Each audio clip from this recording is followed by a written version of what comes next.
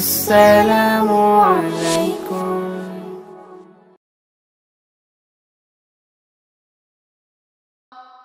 ইমান গ্রহণ করলেন হজরত বেলাল আল্লাহ আয়াত নাজিল করলেন গভীর রাতে আয়াতটা নাজিল করেছে সোন আল্লাহ কন নবী বেলালকে ডাক দিয়ে বলেন বেলাল তুমি বলো তো প্রকাশ্য ইমান গ্রহণ করছ না গোপনে?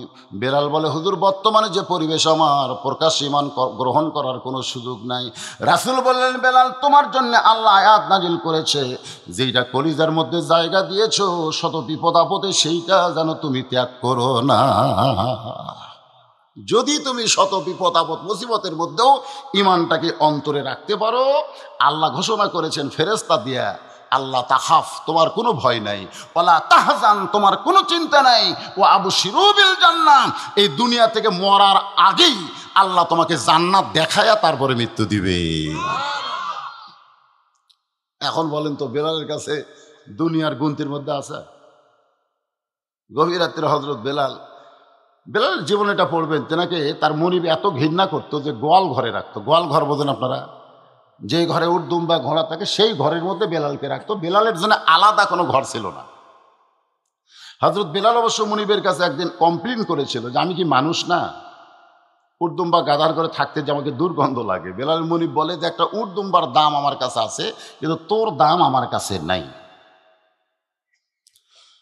মানবতার কোনো স্বীকৃতি যখন হজরত বেলাল পায় নাই, তখনই ইসলাম ধর্ম গ্রহণ করেছে মানবতা পাওয়ার জন্য। এখন সোহান আল্লাহ গভীর রাত্রে ফেরত গেছে গোয়াল ঘরে। ইমান গ্রহণের পরে গিয়ে দেখে উট, দুম্বা, গাদাগুলো সব দাঁড়িয়ে আছে। কারও নিচে কোনো পেশাব নাই, পাওখানাই না সোনাল্লাহ আসতে গেলেন কেন? মাল্লাহুল মাওলা ফালাহুল কুল। কেউ যখন মৌলার হয়ে যায়, কুল মাখলুক আল্লাহ তার জন্য গোলাম বানায় দেয়। ধরে কোন সোহান আল্লাহ আল্লাহ হয়তো উর্দুম বা গাদাকে বলেছে, পেশাব পায়খানা যা করবি দিনের বেলায়, রাত্রি করতে পারবি না।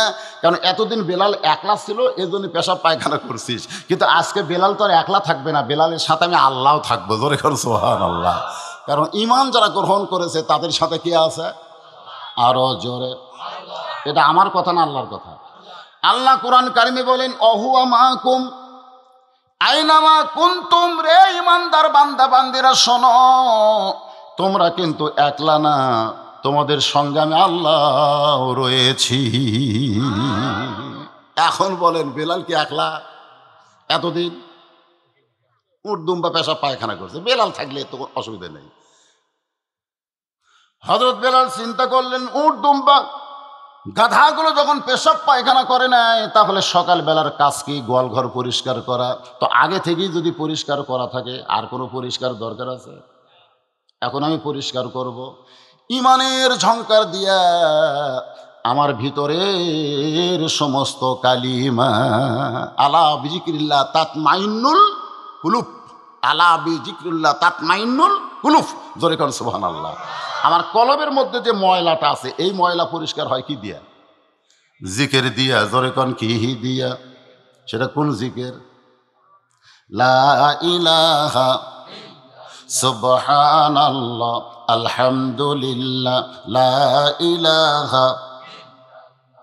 সুবহানাল্লাহ, আলহামদুলিল্লাহ, সবাই বলেন সুবহানাল্লাহ, আলহামদুলিল্লাহ, লা ইলাহা ইল্লাল্লাহ, লা ইলাহা। হযরত বেলালের সকালের কোনো কাম নাই? গভীর রাত্রে বেলাল জিকিরের সাগরে ঢুকে গেল। একটু খেয়াল করবেন, ডুব দিলে ডুবারু হবে। মণিমুক্তা খুঁজে পাবে, পুরা হইবে মনস্কাম বাম স্তনের দুই আঙ্গুল নিচে তোমার কলব সাগরের মোকা। চোখ এভাবে বন্ধ করবে, আমার দিকে তাকান। এখন তো জিকিরের কথা বললে অনেকে বলে, হুজুর, আবার সাহেব হলো নাকি রে? কোরআনে সব চাইতে জিকিরের কথা বেশি বলা হয়েছে চরল্লা কর না কেন?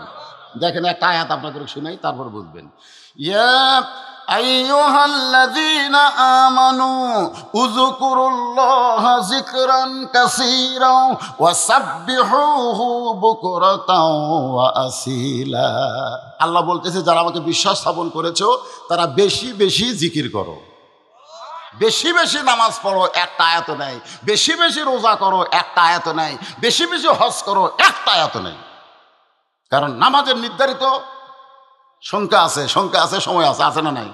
হজের নির্ধারণ আছে না নাই? জাকাতের নির্ধারণ আছে না নাই? কিন্তু জিকিরের? সব সময় মানে কি? যখনই সুযোগ পাবেন, জিকের শুরু করবেন। জবানে যদি করতে না পারেন, অন্তরে অন্তরে করবেন হজরত বেলাল জিকিরের সাগরে ডুব দিছে, কখন যে ফজর হয়েছে, কখন যে সকাল হয়েছে, কারণ তখন কোনো নামাজ নাই, জোরে কন কি হি নাই। সর্বপ্রথম দুনিয়াতে যে ইবাদত এসেছে, তার নাম কি? জোরে কথা কর না কেন। আরে জিকিরের বহু পরে নামাজ আছে। আজকে নামাজ দিয়ে মানুষ ওয়াজ করে, কিন্তু জিকিরের ওয়াজ করে না। আবার অনেকে বলে, জিকির করলে নামাজ লাগে না, ওটা আবার ভণ্ডামি। নামাজের কথা আছে, ও আমিলু সলিয়া যখন আসবে তখন অবশ্যই নামাজের কথা আপনারা শুনতে পাবেন। তবে যেইটা বলতে যে একটু মনোযোগ দেন হজরত বেলাল জিকির শুরু করছে। জিকির করতে করতে কোন জায়গা তুলছে কোন জায়গা তুলছে সেটা জানেন আপনি?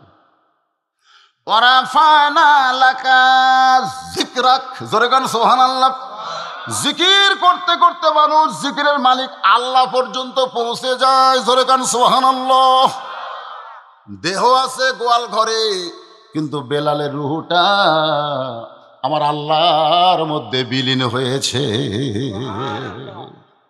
এক জগ পানির মধ্যে এক মুষ্টি চিনি দিয়া, দুইটা ঘন্টন মারলে ওই পানির মধ্যে চিনি যেমন বিলীন হইয়া যায়, শত চেষ্টা করলেও যেমন ওই পানির মধ্যে চিনি খুঁজে পাওয়া যায় না। আল্লাহর কোনো বান্দা কলবের দিকে মোতাবাজ্য হয়ে যখন আল্লাহর জিকির করে, যতক্ষণ জিকিরের মধ্যে থাকে, ওই বান্দাকে আল্লাহ থেকে ততক্ষণ আলাদা করা যায় না। অন্যান্য গোলামেরা মনিবের কাছে রিপোর্ট করছে মনিব, বেলাল আজকে আলসা হয়ে এমন ঘুম পাড়তিছে যে গোয়াল ঘরের দরজা পর্যন্ত খোলেনি। এমনি তো মনিব বেলালকে দেখবার পারে না, তার উপর যদি আবার অভিযোগ হয়। অভিযোগ না? কথা বুঝতেছেন না? বর্তমান সরকার এমনি তো আলিম ঘর দেখবার পারে না। তারপরে যদি আবার অভিযোগ দেয়, মলবি করে দেখবার পারে।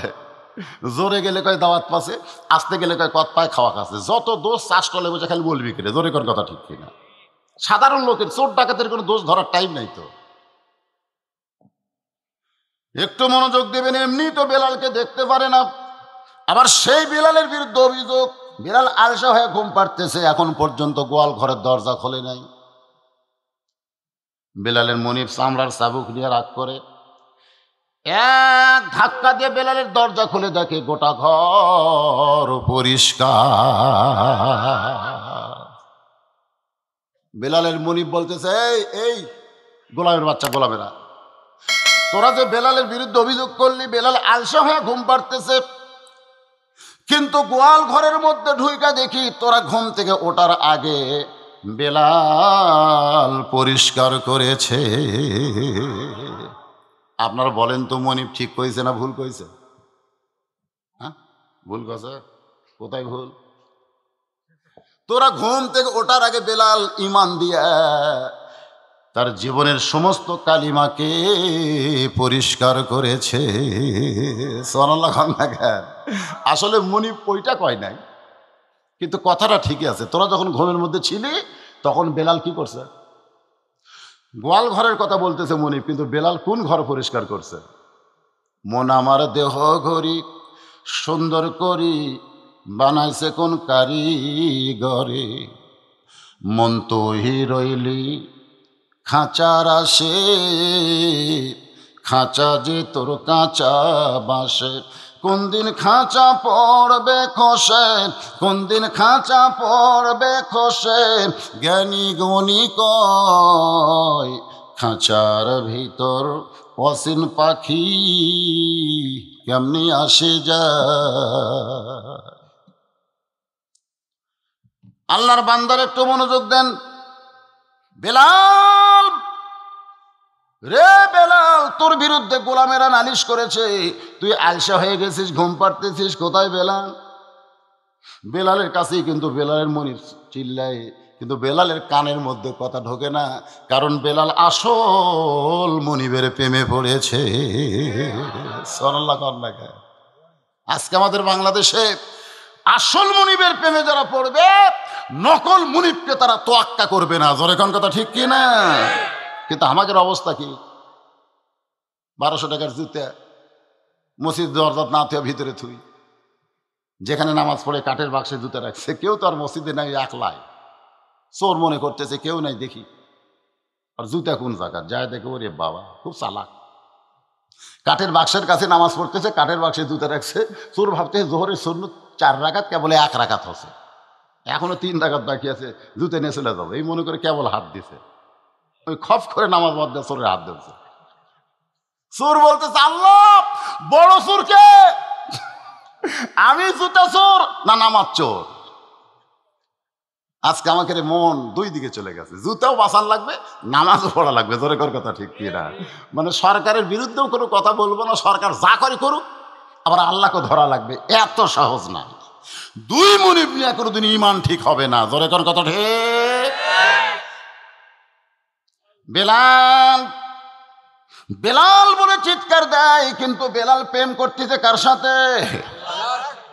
তার মানে বোঝা গেল, মায়ের দয়া, বাপের দয়া শুধু দুনিয়ার সাথে সম্পর্কিত, আর আমার আল্লাহর দয়া শুধু দুনিয়া নয়, জান্নাত পর্যন্ত সম্পর্কিত।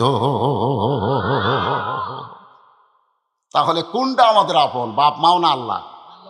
না, বাপ মাও আপন দুনিয়াতে, কিন্তু আল্লাহ আপন সব জায়গায়। তাহলে আমাদের বিপদে পড়লে সর্বপ্রথম কার নাম বের হবে? আরও জোরে। জোরসে বলেন, বিপদ, আপদ, মুসিবত সর্বসময় আল্লাহ বলেছেন, ইজে আসাবাতুহুম মুসিবাতুন কলু ইন্না লিল্লাহি ওয়া ইন্না ইলাইহি রাজিউন। বেলালের মনিবের চাবুক পড়ে গেছে। যেই বলছে মুহাম্মাদুর রাসূলুল্লাহ সঙ্গে সঙ্গে মনিবের সাবুক পড়ে গেছে। তার মানে বোঝা গেল, যেখানে আল্লাহ শব্দ উচ্চারণ হবে, সেখানে শয়তানের শক্তি জুরি না কমজুরি। আমাদের বাংলাদেশের মুসলমান তো আল্লাহ আকবার ভুলে গেছে। একটা অন্যায় দেখেন, আপনারা পাঁচশো জন তকবির নিয়ে মিছিল শুরু করেন। কিছু কুলাবি এ কতক্ষণ কিছু কুলাবে না। বাবা, জেলত যমুনা রে, জেলত যমুনা রে।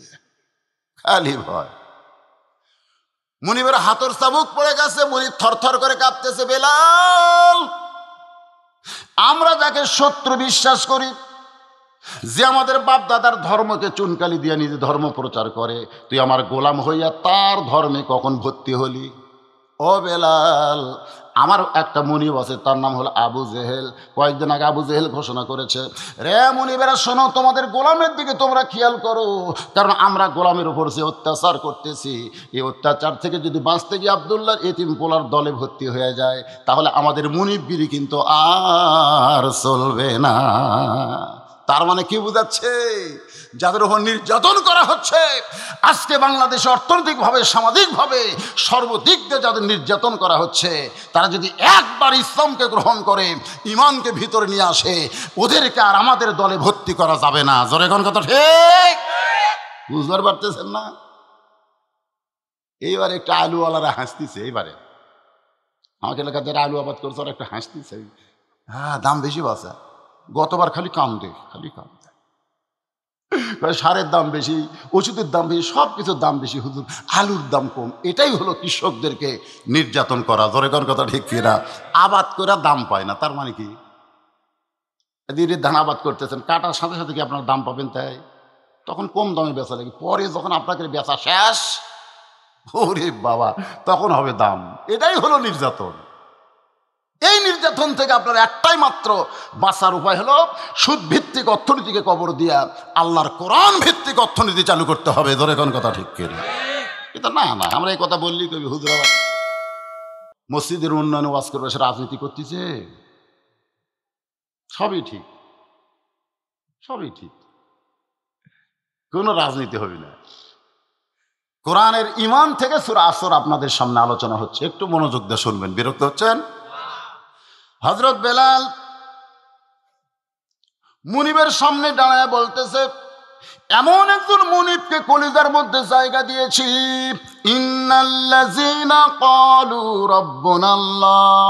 নিশ্চয় যারা আল্লাহকে রব বলে স্বীকার করেছে, এর প্রতি ইস্তেকাম সুম্মাস তাকাম এর প্রতি এমনভাবে অটল হয়েছি।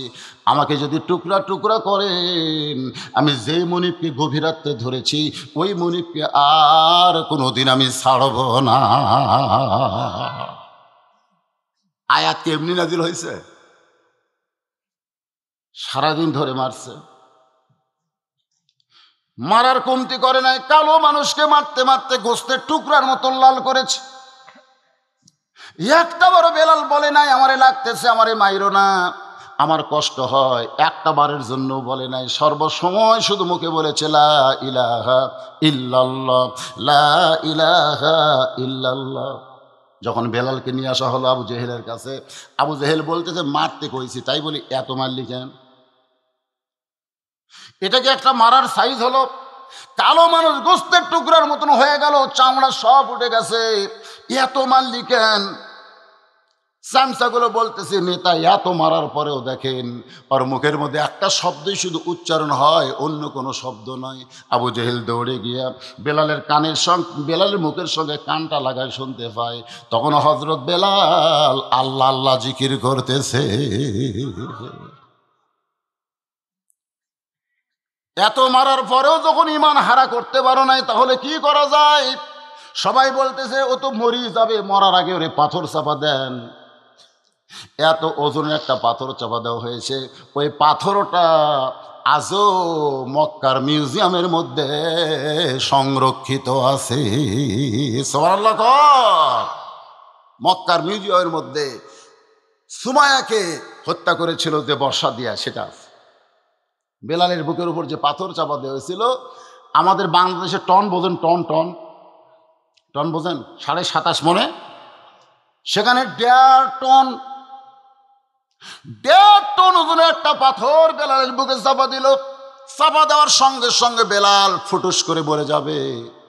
ওরা চাপা দিয়ে হাসতে হাসতে চলে যায়।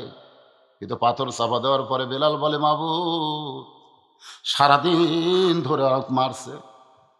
আমি একটা বার বলি নাই, লাগতেছে আমার কষ্ট হয়। কিন্তু এখন আমার বড় কষ্ট হচ্ছে আল্লাহ, আর সেই কষ্টটা হলো ওই পাথর চাপা দেওয়ার কারণে তোমার জিকির আমি করতে পারতেছি না।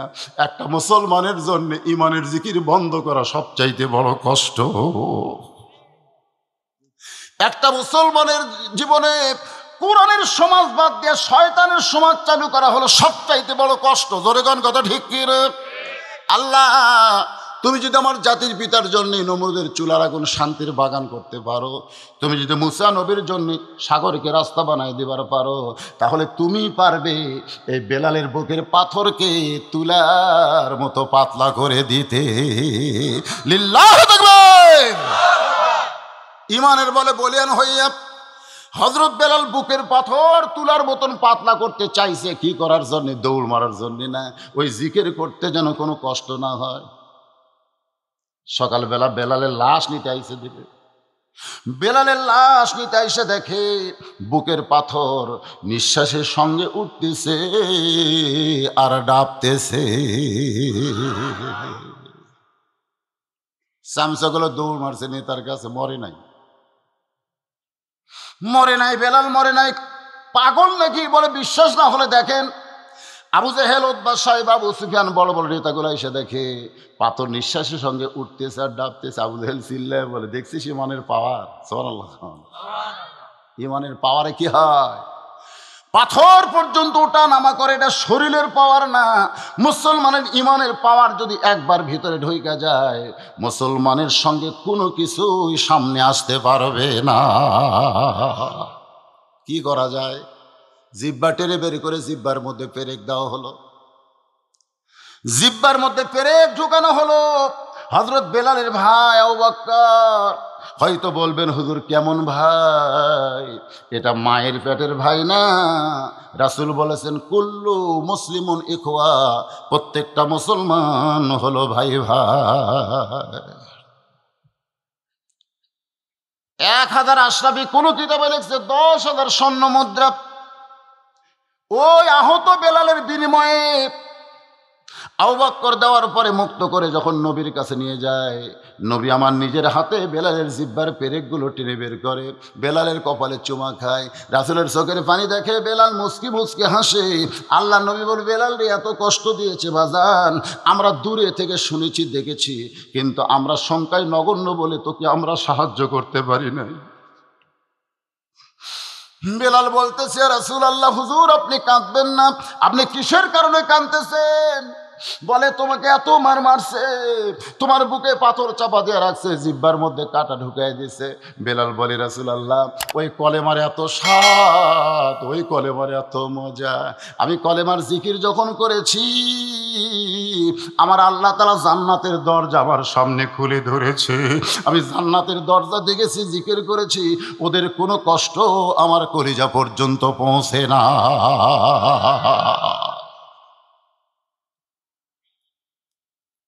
বেলাল, তুমি কি জানো?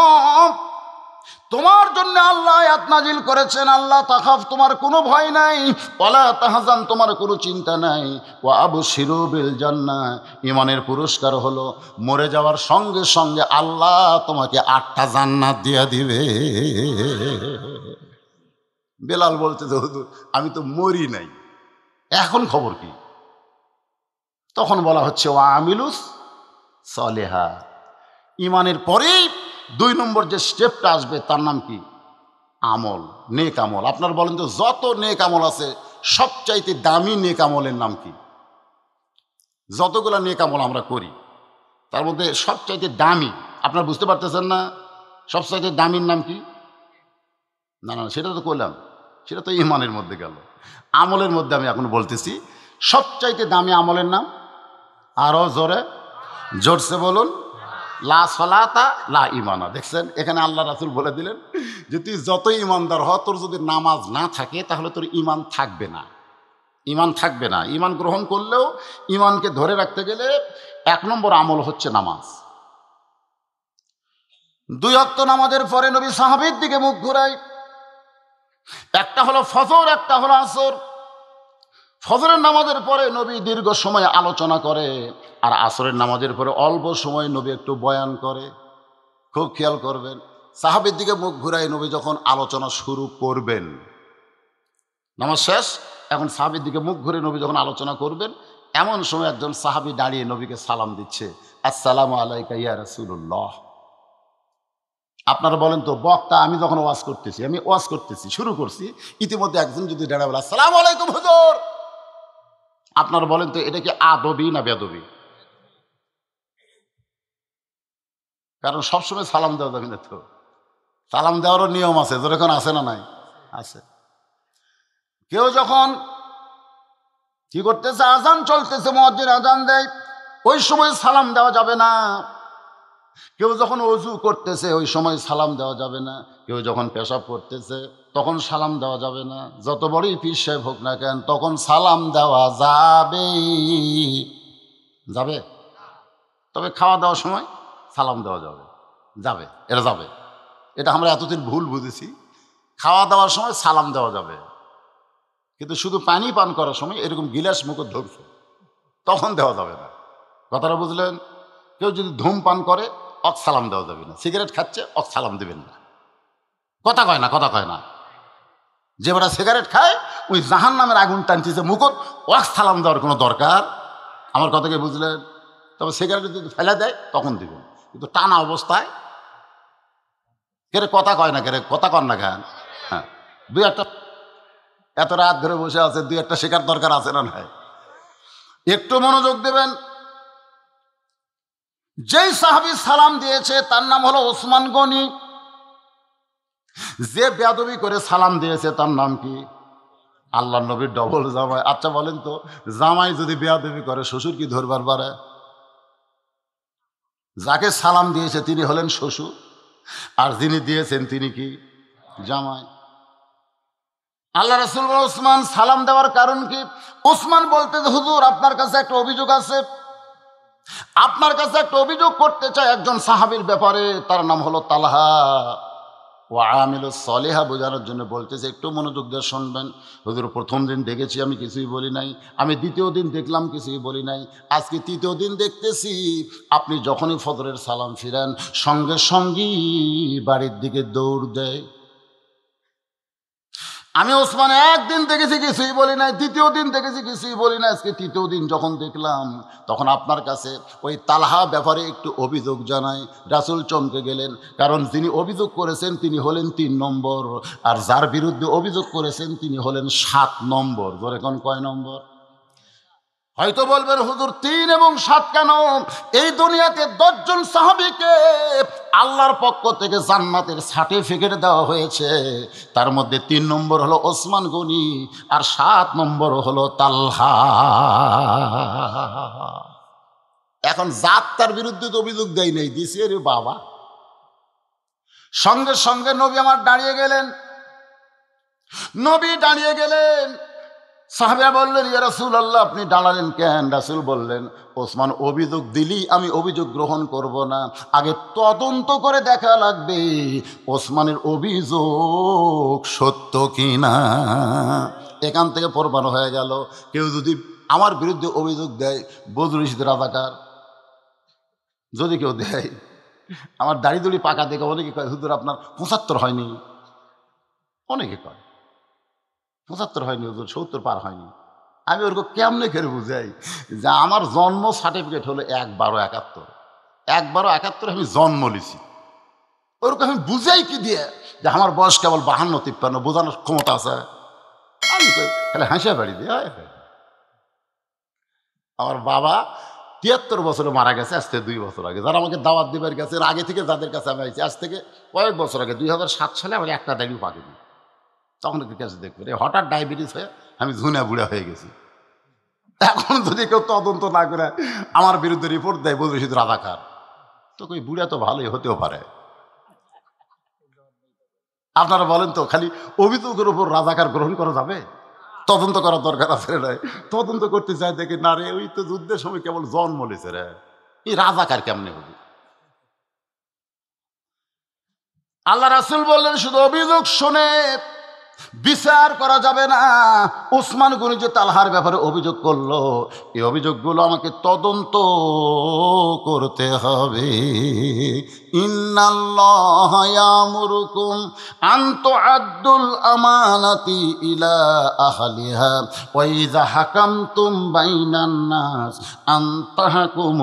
বিল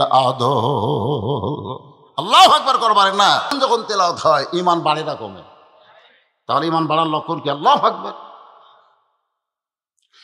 নবী মসজিদ থেকে যখন বের হলেন প্রত্যেক সাহাবি মসজিদের মধ্যে গুনগুন করতেছে। যে ওসমানের মতন একজন মানুষ ওসমানের মতন একটা মানুষ অভিযোগ করল তাও হুজুর তদন্ত গেল। কি মনে করতেছেন? ওসমান কি মিথ্যা কথা নাকি? মানে গুনগুন গুনগুন করতেছে। আল্লাহ রাসূল কে, "এই, চুপ মানে রাসুলকে সাহাবেরা কেমন মানতো আপনারা তো জানেন। চুপ। এই, আমি একলা তদন্তে যাব না, তোমরা কি যাবা? ওমর ফারুক বললেন, হুজুর, যদি আপনি সাথে নেন, তাহলে আমাদের কোনো আপত্তি এই কথার দ্বারা বোঝা গেল, শুধু এক দল তদন্ত করলে হবে না, সর্বদলীয় তদন্ত লাগবে ধরে কোন কথা ঠিক কি না বাংলাদেশের ক্ষমতার যে দল আছে, খালি এরা একলাই তদন্ত করলে হবে। কি কোন সব দলের তদন্তের দরকার আছে না নাই? কিন্তু আমাদের দেশে তো খালি এক দলীয় তদন্ত হচ্ছে। তাও তদন্ত করতে থেকে যে হুজুর দেখবার পারে না। জোরে গেলে কয় দাওয়াত পাশে আসতে গেলে কত পায়, খাওয়া খাসে ওকে আবার তদন্তের দায়িত্ব দিছে? দেখ তো হুজুর কোন দল করে। ওই আগে থেকে দেখবার পারে না। এখন বলেন, ওই যাই হুজুর জোরে গেলে কয় দাওয়াত খাসে আসতে গেলে কত পায়, খাওয়া খাসে ওই দেখবার পারে? ও কি দিয়েছে তদন্ত? দেখতে হুজুর কোন দল করে। এখন বলেন, তদন্তের রিপোর্ট কি হুজুরের পক্ষে পড়বি? কথা কর না কেন, আপনার কথা কর না কেন? আজকে হুজুরের তদন্ত কারা করতেছে? যারা হুজুর দেখবার পারে না পারে না। এক জোরে কন, পারে না পারে না। আরও জোরে। তাহলে রিপোর্ট কি? আল্লাহ নবীর সামনে সামনে সাহাবিরা পিছনে পিছনে রওনা দিলেন। কোরআন কারিমের মধ্যে আল্লাহ বলেছেন, আমার নবী যখন পথ চলবে, নবীর সামনে কেউ চলতে পারবে না। আবার নবী যখন কথা বলবে, নবীর মুখের উপর কেউ কথা বলতে পারবে না। নবীর সামনে যদি কেউ চলে, নবীর মুখের উপর কেউ যদি কথা বলে, আল্লাহ বলেছে, সঙ্গে সঙ্গে ওই ব্যক্তি জাহান্নামি হয়ে যাবে। সবার সামনে আল্লাহ নবী। কেউ যদি মনে করেন, হুজুর এ- এখন তো আর নবী নাই, এখন কি সন্ন্যত আছে? হ্যাঁ আছে। আল ওলামা ওয়ারাসাতুল আম্বিয়া। আলেমরা হলো নবীর ওয়ারিস আপনি রাস্তা চলতে চলতে পিছন দিকে তাকায় দেখছেন যে একটা হুজুর আসতেছে। আপনি যদি একটু দেরি করেন যে, হুজুর, তো নবীকের ওয়ারিস বাড়ে? তাহলে হুজুরের সামনে কেমনে যাই? দরকার নাই, হুজুর আসুক। হুজুর আসলো, আসসালাম আলাইকুম হুজুর, কেমন আছেন? এই করে হুজুরের পিছনে খালি দুই কদম আপনি হাঁটবেন, আল্লাহ তালা হাসরের ময়দানে ওই আমলের কারণে আপনাকে দুটা জান্না দিয়ে দিবে। খালি সোমান আল্লাহ করেন সম্মান করেন। হাদিস শরীফ আছে আলেম হও। আলেম যদি না হও, আলেমের বাপ হও আলিমের বাপ যদি হবার না পারো, আলিমের শ্বশুর হও আলিমের শ্বশুর যদি হবার না পারো, আলিমের বন্ধু হও আলিমের বন্ধু যদি হবার না পারো, আলেমকে দাওয়াত দিয়ে এক সন্ধ্যা খাও, এটাও যদি তুমি না পারো।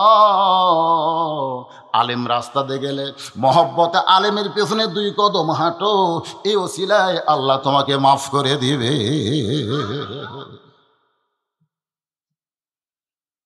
তালহার বাড়ির দরজায় আল্লাহ রাসুল বলেছেন, কোনো বাড়ির দরজায় গিয়ে তোমরা খটখট শব্দ করবা না। কোনো বাড়ির দরজায় গিয়ে তোমরা তার নাম ধরে চিল্লা চিল্লি করবা না। সর্বপ্রথম বাড়ির দরজায় তোমাদেরকে সালাম দেওয়া লাগবে। কন, কি দেওয়া লাগবে?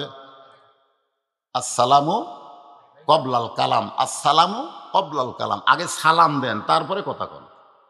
আসসালামু আলাইকুম আহলাল বাইত। আসসালাম আলাইকুম আহলাল বাইত। আসসালামু আলাইকুম ইয়াহলাল বাই তিন, তিনবার নবী সালাম দিয়েছে। দরজা খোলার কোনো লক্ষণ? রাসুল বলেছেন, এরপরে তুমি কালাম বলো, কথা বলো। আল্লাহ নবী ডাক দিলেন, তালহা লব্বাইকে রাসুল আল্লাহ যেই মাত্র নবী বলেছেন, তালহা, সঙ্গে সঙ্গে ঘরের ভিতর থেকে আওয়াজ আসতেছে লব্বাইকে রাসুল আল্লাহ রাসুল বলেছেন, তুমি যদি কাউকে ডাক দাও আর বাড়ির ভিতর থেকে ডাকের শব্দ শুনতে পাও, তাহলে দরজা খোলা পর্যন্ত তুমি ধৈর্য ধরো। আয়ের মতন চিল্লা চিল্লি করা যাবে? যেরকম যাবে নাকি? তালহা বললেন, লব্বাইকে রাসুল আল্লাহ নবী আবার ডাক দিলেন, তালহা, সঙ্গে সঙ্গে বলে, লব্বাইকে রাসুল আল্লাহ নবী আবার দেরি করে ডাক দিলেন, তালহা সঙ্গে সঙ্গে আওয়াজ আসতেছে, লব্বাইকে রাসুল্লাহ নবী কিন্তু একবার ডাকে নাই। তালহা তালহা তালহা, এরকম ডাকছে। কেন ডাকে নাই? কারণ আপনি যে ডাক দিবেন, তার একটা উত্তর আসা লাগবে। আজকে মজ্জিন যারা আজান দেয়, আপনার বলেন তো আজানের উত্তর আছে না তো যদি কেউ আগে আমরা ছোটবেলায় দেখছি এবারে তোমাকে কি হচ্ছে রে? মানুষের দিক টাকা থাকে বাবা, বোঝো না। আল্লাহ আকবর। আল্লাহ আকবর। আল্লাহ আকবর। আল্লাহ আকবর।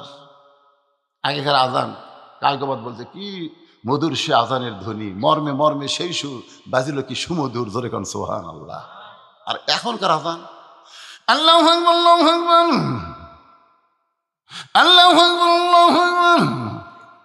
মানে আজান দেয় না, আইডিয়া চিল্লাই বোঝার উপায় নেই, জোরে কর কথা ঠিক।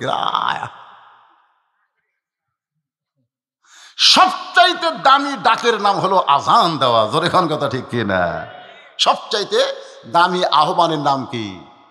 আরও জোরে। তাহলে আজান দিলে তার উত্তর দেওয়া ওয়াজিব, জোরে করে আজানের উত্তর দেওয়া কি?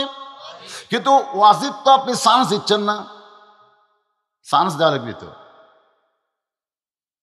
ওমার ফারুক নবীর কদমের কাছে দাঁড়িয়ে গেলেন। নবী যে পা আছে ওই পায়ের কাছে এভাবে হাত দিয়ে বললেন, ইয়া রাসূলুল্লাহ, আপনি যে কদম তালহার বাড়ির দরজায়, এই কদমের জুতার দাম আল্লাহর আরশের চাইতেও বেশি, সুবহানাল্লাহ কন।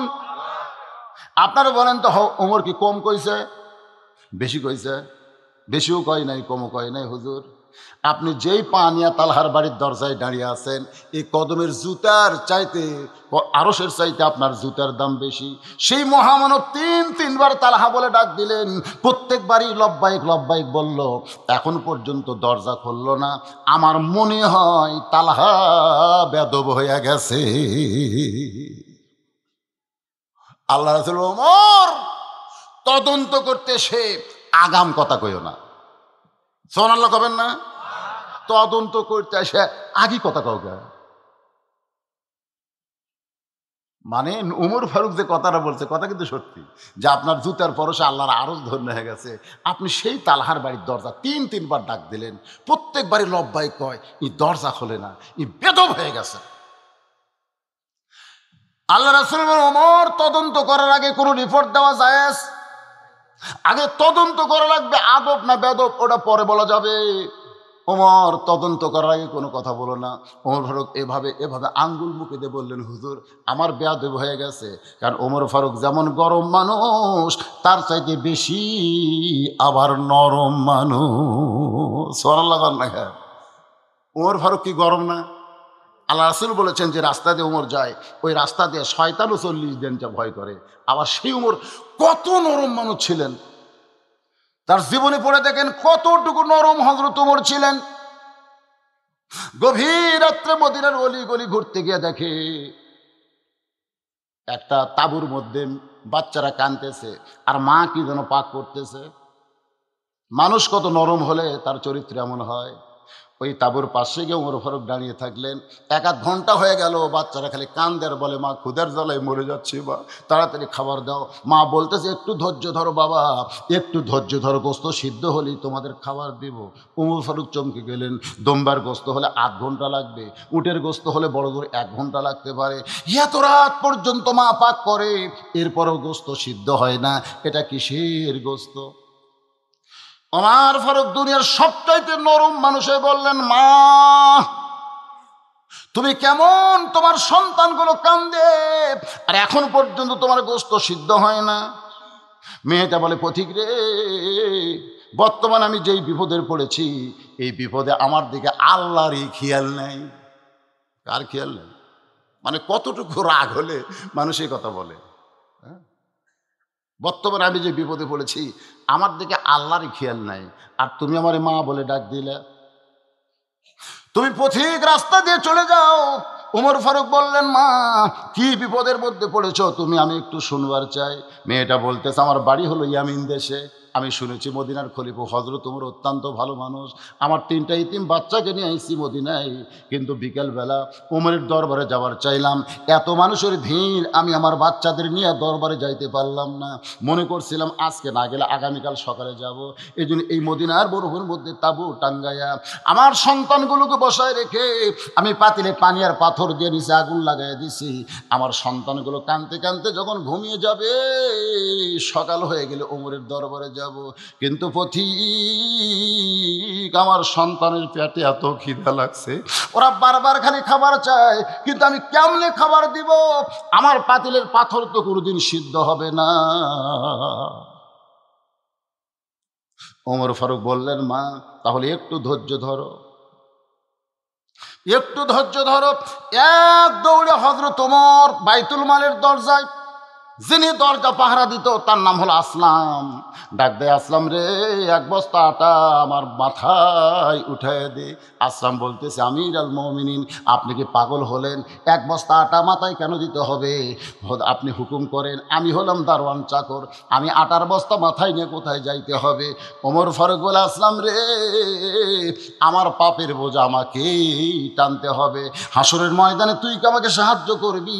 ইয়া আইয়ুহাল ইনসান, মা সোহান আল্লাহ এক বস্তা খাবার আমার মাথায় উঠাই দে। কি করবে আসলাম এক বস্তা খাবার যখন মাথায় তুলে দেয়, উমর ফারুক এত জোরে দৌড় মারতেছে। পিছন দিক থেকে আসলাম বলে আমির আল মৌমিনিন, যদি আপনি পড়ে যান, বস্তা সহ আপনার বড় কষ্ট হবে। উমর ফারুক বলে, আসলাম রে, নির্দিষ্ট সময় যদি জায়গা মতো পুষতে না পারি, তাহলে জাহান নামের আগুনে আমাকে পড়তে হবে। আটার বস্তা নিয়ে ডাক দিলেন, মা সঙ্গে সঙ্গে মহিলাটা তাবু একটু আলগা করলে উমর ফারুক বস্তা নিয়ে বলে, মা, এই বস্তার মধ্যে সব খাবার আছে, তুমি রুটি তৈরি করো, হালুয়া তৈরি করো। মা যখন রুটি হালুয়া তৈরি করে, ওমর ফারুক বাচ্চাগুলোকে কোলের মধ্যে দিয়া ওই রুটি হালুয়া মুখের মধ্যে দেয়, বাচ্চাগুলো খায়, মুসকি মুসকি হাসে। ওমর ফারুকের মাথা নাড়ে, এক বাচ্চার নাড় দাঁড়িয়ে নাড়ে, চোখের পানি বের করে বলে, তুমি কে গো? এই গভীর রাত্রে বাবার চাইতে বেশি দরদ দিয়ে আমাদেরকে খাওয়াইতেছ। তুমি কে গো? তোমার পরিচয় কি? ওমর ফারুক দুই হাত তোলে বলে, বাবু এই অধমকে জাহান নামের আগুন থেকে তুমি বাঁচাও। মা চিল্লাই বলে, কে গো আপনি?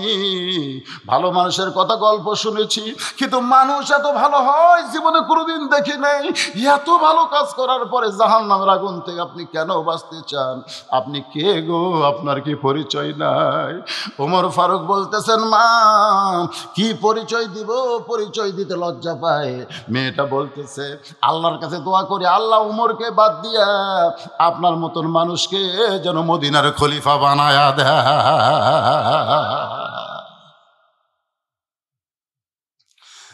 যেমন তিনি গরম ছিলেন, তার চাইতে বেশি আবার কি ছিলেন? নরম ছিলেন, এরকম মুখে আঙ্গুল দিয়া চিন্তায় পড়ে গেলে আমার কথায় নবী হয়তো বেজার হয়ে গেছে। আর নবী বেজার হয়ে গেলে তার সব কি? তার আমল নামা সব শেষ হয়ে যাবে। ওর ফারুক মনের দুঃখে তালহার বাড়ির চারিধার ঘুরতে চারে ভাবতেছে, এত মহব্বত তোর বাড়ির ভিতরে। নবী দরজায় ডাকে, তুই লব্বাইক বলিস, দরজা খুলিস না। দেখে তোর বাড়ির মধ্যে কি আছে, বাহির থেকে আজ করা যায় কি না? ওমর ফারুক গোটা বাড়ি ঘুরতে ঘুরতে হঠাৎ বাড়ির এক প্রাচীরের ফাটল দিয়ে ভিতর দিকে তাকায় দেখে ছোট্ট একটা মাসুম বাচ্চাকে রশি দিয়া তালহা খুঁটির সঙ্গে বেঁধে রাখছে। আর ওই বাচ্চারা শুধু মা মা মা, বাবা বাবা বলে কানতেছে ওমর ফারুক চমকে গেলেন একটা মাসুম বাচ্চাকে গরু, ছাগলের মতন। রশি দিয়া খুঁটির মধ্যে বেঁধে রাখছে। আর বাচ্চাটা এইভাবে কানতেছে কত বড় নির্দয়। এটা দেখার পরে হজরত ওমর আল্লাহ নবীর কাছে অভিযোগ করার জন্য ঘুরে আসতেছে। এমন সময় তালাহা দরজা খুলেছে। হুজুর, একদল সাহাবি নিয়ে ইয়ধমের বাড়ির দরজায় আল্লাহ নবী বললেন, তালাহা, তোমার বিরুদ্ধে ওসমান কোন অভিযোগ করেছে। একদিন দেখেছে কিছুই বলে নাই, দ্বিতীয় দিন দেখেছে কিছুই বলে নাই। আজকে তৃতীয় দিন দেখল, তুমি ফজরের সালাম ফিরাইয়া বাড়ির দিকে দৌড় দাও। ও তালাহা, তোমার বিরুদ্ধে আমি নবীর অভিযোগ হলো। ওসমান গনির অভিযোগে আমরা তোমার বাড়ির দরজা এসেছি। কিন্তু এই মুহূর্তে আমার অভিযোগ হলো, একবার ডাক দিলাম তালহা, তুমি লব্বাইক বললে, আবার ডাক দিলাম লব্বাইক বললে, আবার ডাক দিলে লব্বাইক বললে, কিন্তু দরজা খুলতে এত দেরি কেন করলে? এমন সময় হয় তোমার বলে রাসুল আল্লাহ আমার একটা অভিযোগ আছে।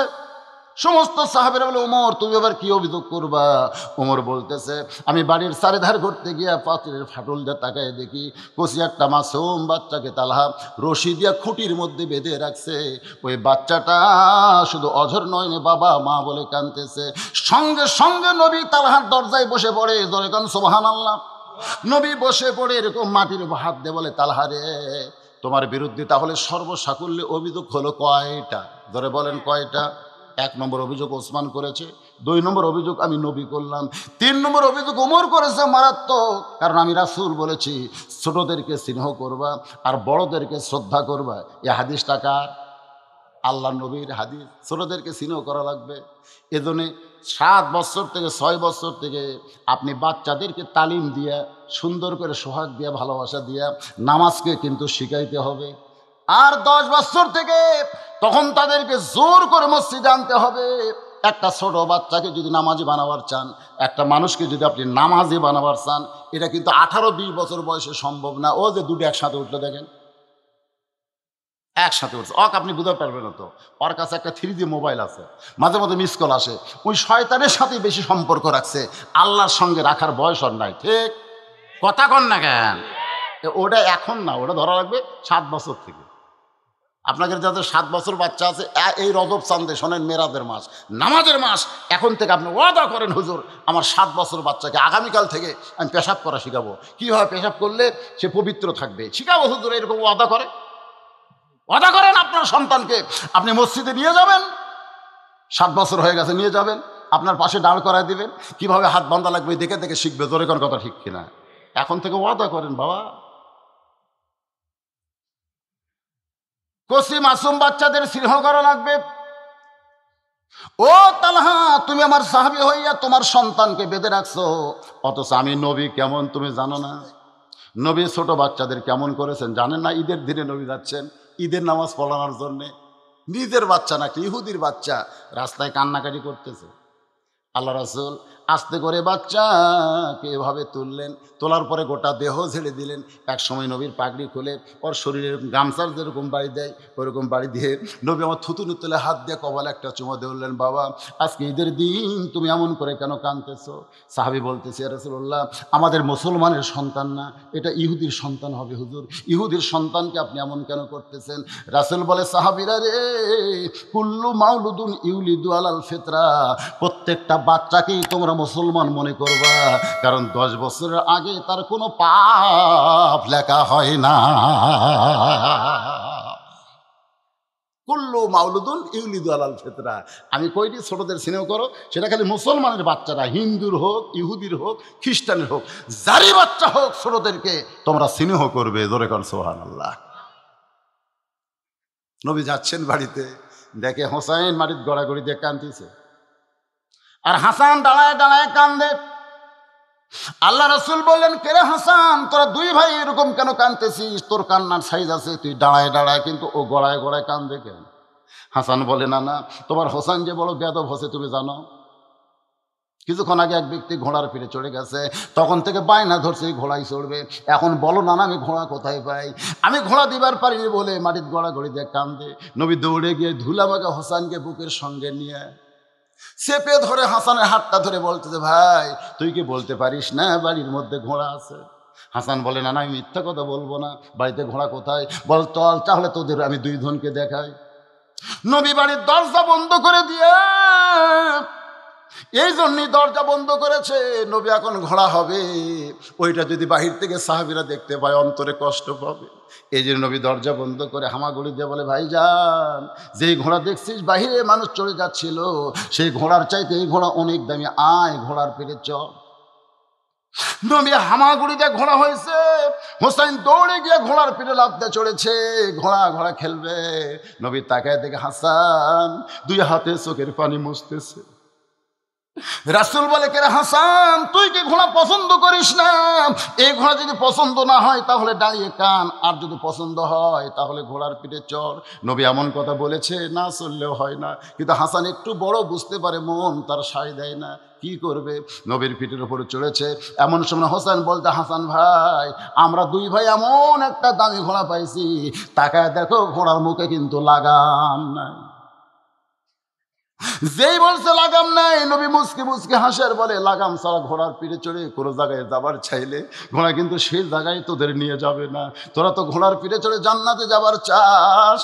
আয় আয় লাগাম দে, এক টানে মাথার চিকন পাগড়ি খুলে, নবী হোসেন হাতের মধ্যে দেয়। হোসেন ওই পাগড়িটা নবীর মুখের মধ্যে ঢুকায় দিয়া দুইটা মুড়ে ধরে যখন হ্যাসকা টান মারছে, একটু দূরে দাঁড়িয়েছিল মা ফাতে মা এই দৃশ্য দেখার পরে ফাতেমার কলিজা ফেটে যায়। যাকে সৃষ্টি না করলে কুল কায়নাত হতো না। সেই মহামানবের পেটে চড়ে দুইটা সন্তান বেয়াদবি করে।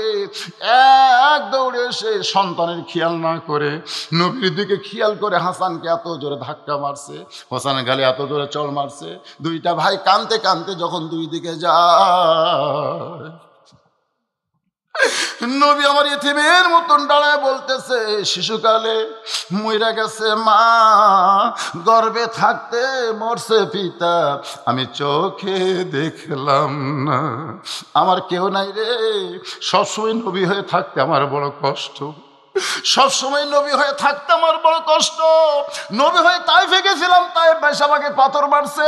নবী হয়ে আমি কত কষ্ট পেয়েছি, একটু নানা হয়ে আমি আনন্দ করতে চাই। এটা অনেকের চোখে সয় না আমার কেউ নাই রে, আমার কেউ নাই। যে দুইটা ভাই ছিল, এরা দুইজন, তোর ভয় এখন দৌড় মারলো। ফাতেমার সামনে দাঁড়ায় বলে, বাবা, আপনি না আমার মা বলে ডাকেন, বাবা। আমি আপনার মার সামনে দাঁড়াইছি। এমন করে আপনি কাঁদবেন না। এমন করে আপনি কাঁদবেন না। রাসুল বলে, তুই যদি আমার মা হইতি, তাহলে আমাকে এত ধাক্কা মারলি কেন? তুই যদি আমার মা হইতি, তাহলে কেন? ফাতেমা বলে, বাবা, কখন আপনাকে ধাক্কা মারলাম, কখন চর মারলাম? আল্লাহ নবী বলেন, ফাতেমা রে, তুই কি আমার কলিজা দেখেছিস মা? তুই কি আমার কলিজা দেখেছিস? ফাতেমা বলে, বাবা, আপনার ভিতরের কলিজা বাহির থেকে কেমনে দেখব? রাসুল বলে, ফাতেমা, ওই হাসান হোসাইন হলো আমার কলিজা। ওদেরকে মারলে আমার কষ্ট হয়, তুই কি জানিস না? ফাতেমা কান্দের বলে, বাবা তৌবা করলাম, আর কোনো দিন আমি হাসান হোসেনকে মারবো না, কারণ ওদের মারলি যদি আপনার কষ্ট হয়।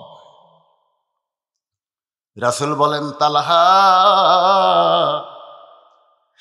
আমি যদি আমার নাতিদেরকে এত ভালোবাসি, ছোট বাচ্চাদেরকে এত স্নেহ করি, তোমার বাচ্চা এমন কি অপরাধ করছে বাজান? তুমি কেন রশি দিয়ে তাকে খুঁটির মধ্যে বেঁধে রাখছো? তালহা বলে, হুজুর, আপনি সর্বসাকুল্যে তিনটা অভিযোগ নিয়ে উপস্থাপন করেছেন। আমি আগে কোনটা বলব? রাসুল বললেন, তাহলে এক নম্বর থেকে শুরু করো। তালহা বলতে হুজুর আমি আজকে তিন দিন হলে ওসমান গনি দেখেছে, সালাম ফিরানোর পরে বাড়ির দিকে দৌড় দেই। ওসমান গনি আরও দেখে, দেখতে পাই নাই। এর আরও অনেক আগে থেকেই সালাম ফিরালি আমি বাড়ির দিকে দৌড় দেই সোনালো বলে ওসমান গনি বলছে, কয়দিনের কথা?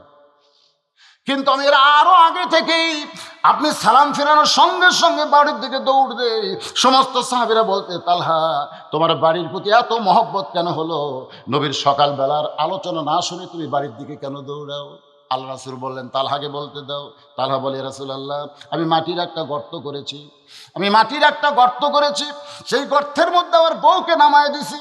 এই কারণে নামায় দিছি হুজুর, যেই কাপড় পরে আমি দরজা খুললাম, আমার গোটা বাড়ি সহ আল্লাহ রাসুলের সামনে দাঁড়ানোর মতন একটা কাপড় ছাড়া আর দ্বিতীয় কোনো কাপড় না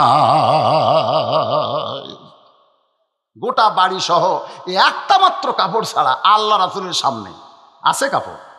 কাপড় আছে, কিন্তু আল্লাহ রাসুলের সামনে দাঁড়ানোর কাপড় লাগবে না? রাসুল আসরের নামাজের পরে এসে ফাতেমাকে সালাম দিলেন। আসসালাম আলাইকুম। আসসালাম আলাইকুম আহলাল বাইত। মা ফাতেমা। রাসুল সালাম দিলেন। ফাতেমা দৌড় এসে দরজা না খুলি কান কান্না শুরু করে দিলেন। রাসুল বলে, ফাতেমা, কান্দিস কেন মা? আমি একটু তোর সঙ্গে দেখা করতে চাই। একটু দরজা খোল, তোর মুখটা দেখব।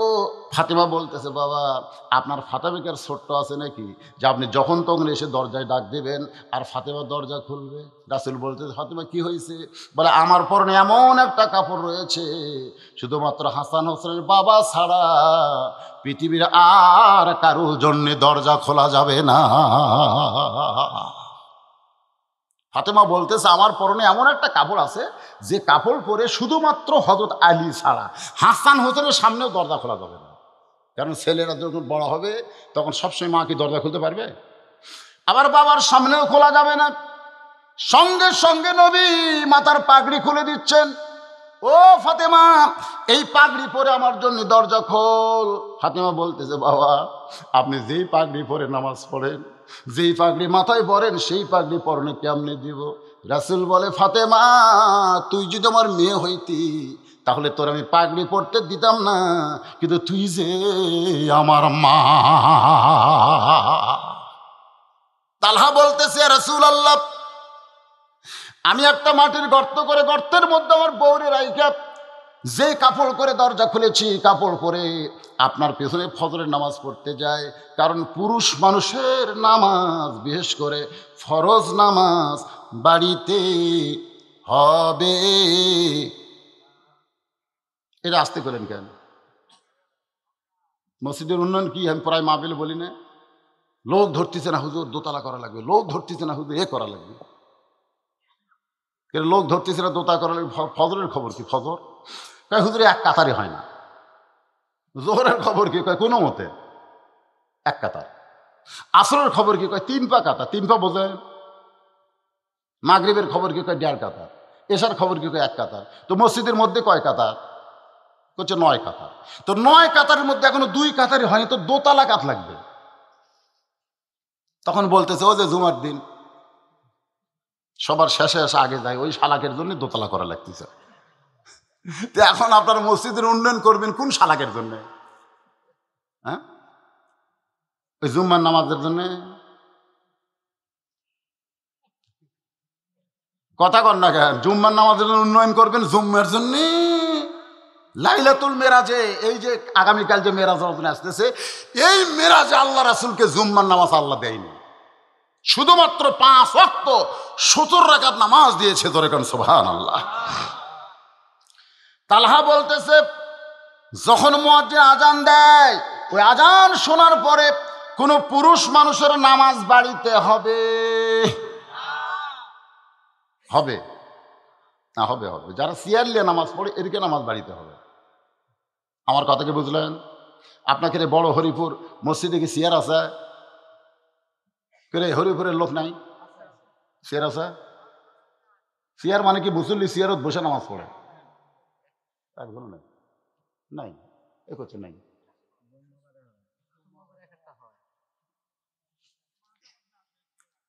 মাঝে মধ্যে সিয়ারালা আছে। শোনে আমি বলি ভাই, এটা এটা কিন্তু বাংলাদেশের সমস্ত আলেমেরা এই ব্যাপারে খুব খুব কড়া কথা বলতেছে। জামাতে নামাজ পড়া কার জন্য ওয়াজিব? বলেন তো আপনারা। কিছু মশলা শিখেন। জামাতে নামাজ পড়া কেবলমাত্র ওই সকল মানুষের জন্য ওয়াজিব যারা সুস্থ। এছাড়া এখন যারা কি? আর অসুস্থ হোক, পঙ্গু হোক, ন্যাংরা হোক যাই কানা হোক আর যাই হোক না কেন, নামাজ পড়তেই হবে। জোরে কোন কথা ঠিক কিনা? যদি দাঁড়ায় না পারো, বসা পড়ো। বসা না পারো, শুয়ে থাকা পড়ো। শুয়ে থাকাও যদি না পারো, তুমি ইশারা দিয়ে পড়ো, তাও তোমার নামাজ পড়তেই হবে। কিন্তু জামাতে সকলের জন্য না। জামাতে নামাজ পড়তে হবে কেবলমাত্র সুস্থ, সবল মানুষের জন্য। আপনার বলেন তো, জামাত কেন হয়েছে? এই জামাতটা কেন? না জানলে বলবেন জানি না। অন্যায়ের বিরুদ্ধে প্রতিবাদ করার জন্য নামাজের মাধ্যমে রাসুল সাহাবিদেরকে জামাত করেছে। অন্যায়ের বিরুদ্ধে প্রতিবাদ করা যায় তুই সিয়ারলে বসে থাকিস, তুই কি অন্যায় করব? হ্যাঁ? লিজি লোড়া পারে না, চিন্তা করে দেখে। এই জন্য আমি সিয়ারওয়ালাদের বলব, অনুরোধ করে আপনি যদি বসে থেকে পড়তে অসুবিধা হয়, হাঁটুর যদি লাগে, আপনি সিয়ারত পড়েন, বাড়িতে পড়েন, মসজিদ দেখেন আল্লাহর বান্দারা মনোযোগ দেন, কি কষ্ট পাচ্ছেন? রাত কত হলো রে? শুক্রবারের নামাজ ন্যাংরা পঙ্গু যদি যায়, তাহলে চেয়ার নিয়ে বসে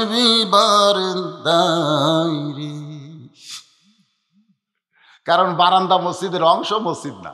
আমার কথা বুঝলেন? না হয় দেখবেন শেষ কাতারে ওদেরকে সিয়ার আলা করে শেষ কাতারে বসাবেন। মানে সিয়ার দিয়ে ওরা কাতার সাথে করি, সিয়ার দিয়ে। কিন্তু আপনার পায়ের সাথে ওর গোড়ালি যদি মিল না হয়, তাহলে জামাত কি হবে? জামাতের যে কাতারের যে ফজিলত থেকে বঞ্চিত হবেন। তো আপনি একটা রুগী মানুষের জন্য বঞ্চিত হবেন কেন?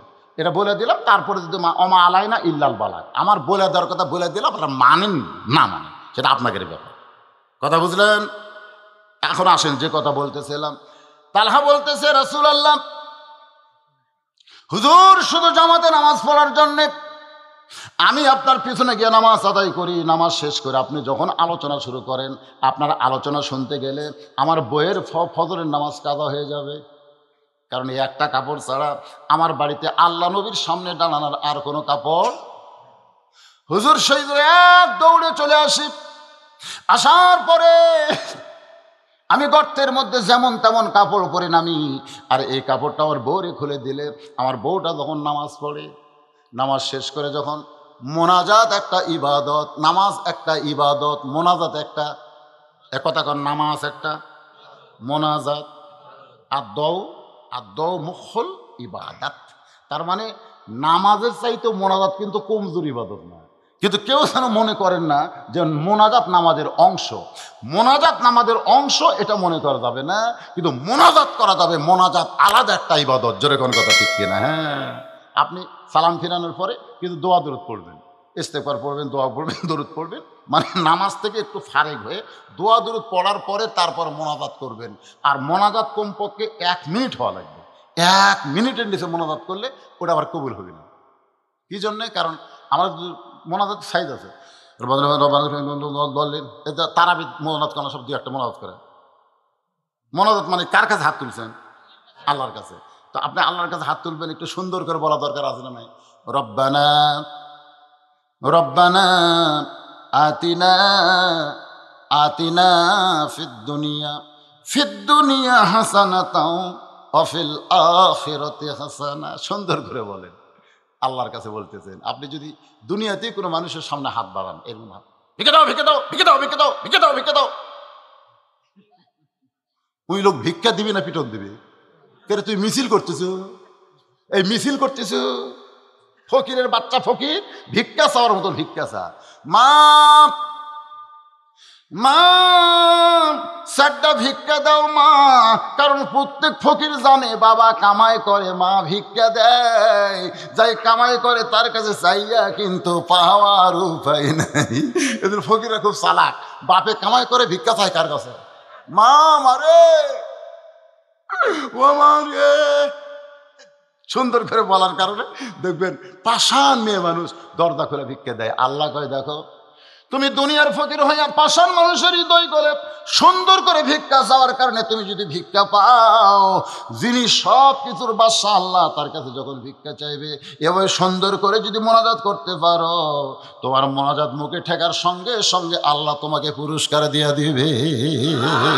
তবে চাওয়ার মতন চাইতে হবে। আমি কি বললাম? মোনাজাত একটা ইবাদত। আমার বউটা যখন মোনাজাত করতেছে, কার কাছে?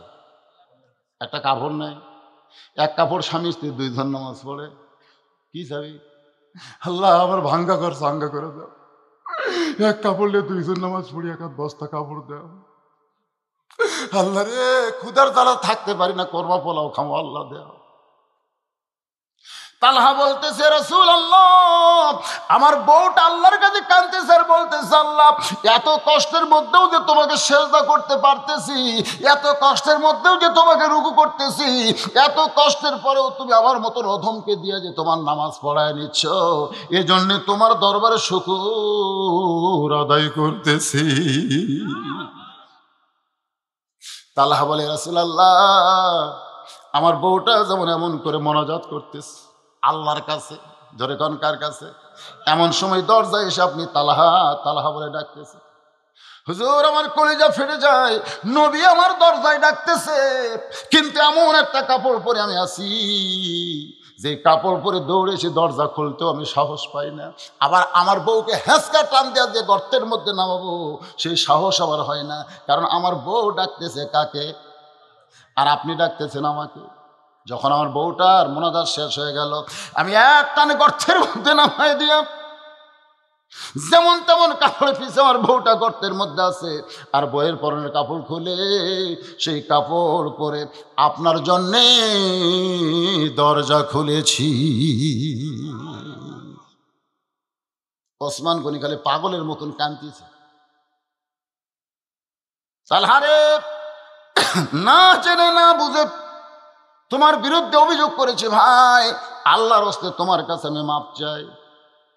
আল্লাহ নবী বলে, ওসমান, তুমি যদি অভিযোগ না করতে বাজান, তাহলে তালহার এই অবস্থা আমরা কেমনে জানতাম?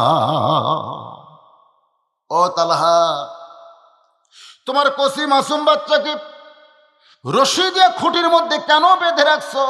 তালহা বলতেছে রসুল আল্লাহ আমি আমার সন্তানকে আমার জীবনের চাইতেও ভালোবাসি। সোনাল্লাহ কন্যা কেন? আমি আমার সন্তানকে অত্যন্ত ভালোবাসি, হুজুর। ওমর ফারুক বলতেছে, ছোট মাসুম বাচ্চাকে রশি দিয়ে খুঁটির মধ্যে বেঁধে রাখা, এটা ভালোবাসার লক্ষণ।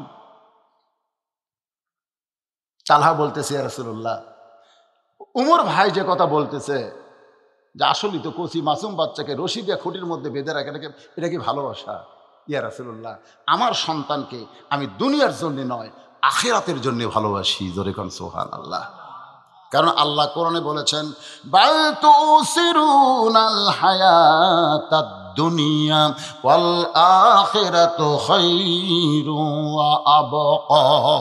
আল্লাহু তুচ্ছ দুনিয়ার মোহে, তুমি পাগল হয়েও না। আমি আল্লাহ চিরস্থে আখেরাতকে তোমার জন্য সুন্দর বানায় দিব। জোরেগন্না সোহান আমি আমার সন্তানকে আখেরাতের জন্যে অত্যন্ত ভালোবাসি। আল্লাহ নই বললেন, তালহা, প্রমাণ দাও, প্রমাণ কি? বলে, হুজুর, এই যে খেজুর গাছ দেখতেছেন, হুজুর, আমার বাড়ির দরজার সামনে যে খেজুর গাছ দেখতেছেন, এই খেজুর গাছের মালিক হলো একজন ইহুদি। আজ কয়েকদিন হলো খেজুরগুলো পাক ধরেছে। লোহাওয়া, ওই পাকা খেজুরগুলো টপ টপ করে গাছের গোড়ায় পড়ে। আমি একজন মুসলমান, আমার সন্তান ইহুদির গাছের খেজুর খাবে, আমি কেমনে সহ্য করব। আমি যখন ফজরের নামাজ পড়তে যাওয়া রওনা দিলাম, এমন সময় মন বলতেছে, তালহা, তুমি তো ফজরের নামাজ পড়তে যাচ্ছ, তোমার সন্তান যদি ঘুম থেকে চেতন পায়, আর চেতন পায় দরজা খুলে যদি ইহুদির গাছের খেজুর খায়, তুমি একজন মুসলমান, তোমার বাচ্চা ইহুদির গাছের খেজুর খাবে, কেমনে হবে ইয়ে রাসূলুল্লাহ, আমি এক দৌড়ে ঘরের মধ্যে গেলাম, আমার ঘুমন্ত সন্তানকে কান্দে নিলাম। কান্দে নিয়ে মসজিদ দিকে রওনা দিলাম, রাস্তার মাঝখানে গিয়ে আমার মন বলতে তালহারে তোমার বাচ্চার ওপর তো নামাজ ফরজ হয় নাই, এত ছোট্ট বাচ্চা তুমি মসজিদে নিয়ে যাবা, ঘুম থেকে চেতন পাইবে। যখন তোমরা নামাজ শুরু করবে, তখন বাচ্চা যদি নামাজ নষ্ট করে দেয়।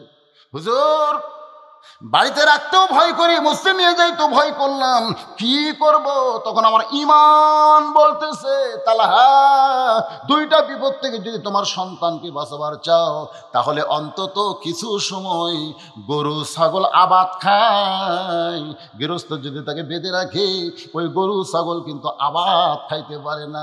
তোমার সন্তানকে হুদির গাছের কন্যা খেজুর থেকে বাঁচাবার যদি চাও, তাহলে কিছু সময়ের জন্যে দড়ি দিয়া বেঁধে রাখো। ইয়া রাসূলুল্লাহ, আমি আমার সন্তানকে রশিদে বেঁধে রাখছি। শুধু হুদের গাছের কোরমা খেজুর থেকে বাঁচানোর জন্যে। ইয়া রাসূলুল্লাহ, এখন আমার সন্তানের রশি খুলে দিব। কারণ এখন আমি সবসময় সন্তানকে দেখতে পারব। ওই গাছের কাছে আমার সন্তান যাইতে পারবে না। নবী কান্দে, পাগলের মতন কান্দে। সমস্ত সাহাবিরা কান্দতেছে নবী বলতেছেন তালাহারে আমি দশজন সাহাবির ব্যাপারে ঘোষণা করেছি। আল্লাহ তাদেরকে জান্নাতের সার্টিফিকেট দিয়েছে। আজকে তোমার ওই নাবালক মাসুম বাচ্চার জন্য ঘোষণা করে দিলাম। তুমি তোমার সন্তানকে রশি দিয়া বেঁধে ইহুদির গাছের খুনমা খেজুর থেকে হেফাজত করা মানে জাহান নামের আগুন থেকে তুমি তারে হেফাজত করেছ।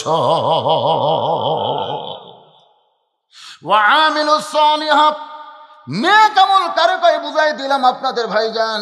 এইরকম অভাবের মধ্যে ইহুদির গাছের খুরমা খেজুর থেকে। যদি তালহা তার ছোট বাচ্চাকে বাঁচাবার পারে, তালহার চাই থেকে আমাদের অভাব বেশি না কম? কথা কয় না, কম না বেশি? আজকে গ্রামীণ ব্যাংক ঠেঙ্গা মারা, আশা বেড়া কিয়ার পুষিকা এগুলো আছে না নাই? আপনারা বলেন তো, এইগুলার মূলে কে আছে? ইহুদি অথবা খ্রিস্টান। একটা খেজুর গাছের খুরমা খেজুর পড়ে যাবে, সেই খেজুর যেন মুসলমানের বাচ্চা না খায়। এত অহের মধ্যেও বাপ যদি তা রশিদা বেঁধে রাখে, আর আপনাকে কে ওগুলোর সামনে? ও যে আমার কাছে একদিন এই ওয়াজ করছিলাম, ওরা খুব পুষিকা তার আসার লোক, চাকরির আমার কাছে, হুজুর, ওয়াজ করে তো ভালোই টাকা কামাই করেন। কয় গরিব টাকা দেন? আমরা গরিবদেরকে একটু টাকা দেই। আমরা এনজিও, আমরা দাতা সংস্থা, আপনার বাজে কোন জায়গা? আমি বললাম, ভাইরে, শোনেন, একটা দৃষ্টান্ত দিই আপনাদের। এ, বিরক্ত হলে মোনাজাত হবি, কারণ আমার একটা বন্ধু চুক্তি আছে, একটা বন্ধু। একটা বন্ধু চুক্তি, একটা পার হয়ে গেছে। না, বিরক্ত হচ্ছেন? ওটা বসায় যে উঠে বসে, কারণ কি? কিসের পেশাব রে? হ্যাঁ? বসেন কোরআনে মামের বসেন। এই কোরআনে ওসিলাই পেশাব জাতীয় যত ব্যারাম আল্লাহ ভালো করে দেবে। এটা কি জাতা মনে করছেন আপনি? পেশাব লাগার পরে একটু একটু একটু ধৈর্য ধরে, একটু ধৈর্য ধরে। নারীরা রে, না ওয়াজটা শেষ করে পেশাব করে দেবো। দেখবেন পেশাব জাতীয় ব্যারাম আল্লাহ ভালো করে দেবে। আমার এলাকার এক লোকের বহু মূত্র তো কাছে একদিন কয়, ভাই, তিন দিন সময় দেওয়া লাগবে কয়, ভাই রে, আমি তো তিন দিন দিবার চাই, তবলিগে কিন্তু আমার যে খালি ঘন্টায় ঘন্টায় পেশাব হয়। এই দেয় ঠিক আছে আল্লাহর আছে দেও। যদি হয় তো ঠিক আছে আমার নিয়ম আছে, তোর যখন পেশাব লাগবি, তখন এর এক দেখাবি এক দেখাবি। তাহলে তো পেশাব করে দিবি। যত ঘণ্টা লাগে, যতবার হবে, এই এই শিখা দিছে। আর আমির দেখ আছে উনি যখন এক তুলবি, আপনি যান, ছুটি দেন না। আমিরও করছে। আর আর হক কাছে খবরদার আমির কে তাঁত করা লাগবে। আমির যদি ছুটি না দেয়, তুই যান, জোর করে যাস না, তাহলে ইমান আমল সব যাবি। এই কই আওয়াজ দিছে। বয়ান শোনার জন্য। আর ওই পাক করবার কাছে যাই হোক, লিয়ে গেছে, পাক করতেছে। আমি কই